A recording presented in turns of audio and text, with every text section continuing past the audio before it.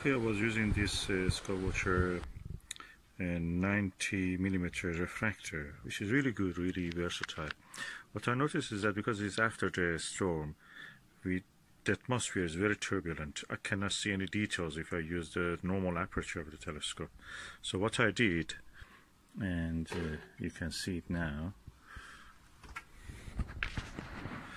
I actually removed just the central part of it, so I have a lower aperture.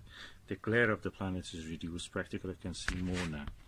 So you can also apply this method and just try to see more.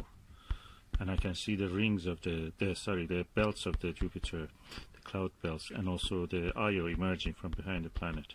So really good, really nice. I just uh, wanted to share this with you. If you have a problem, you cannot see any detail, try to reduce the aperture you can use even a cardboard just to in front of the telescope just to make it smaller.